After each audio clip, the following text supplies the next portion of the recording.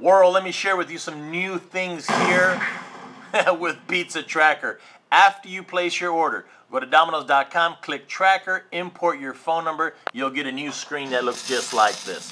What happens here? One, you can see on the status bar, it gives you the five stages of Domino's. Order placed, prep, bake, quality check, and in this case, when it's ready. In this case, it's going to be an example for pickup.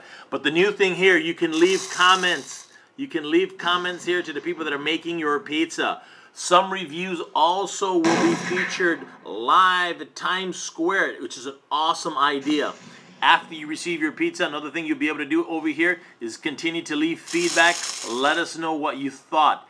Play with the site, have fun. You can pick your theme in the background. And here we go, loading up your order.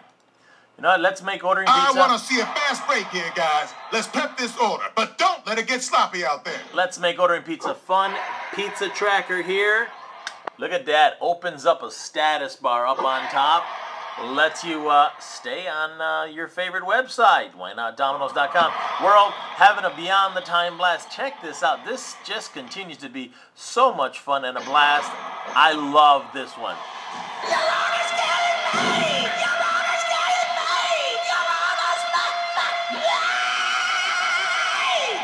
Don't forget, there's our Facebook share button where you can let the world and brag to the world you are having Domino's Pizza. Thank you very much. Live and out of here.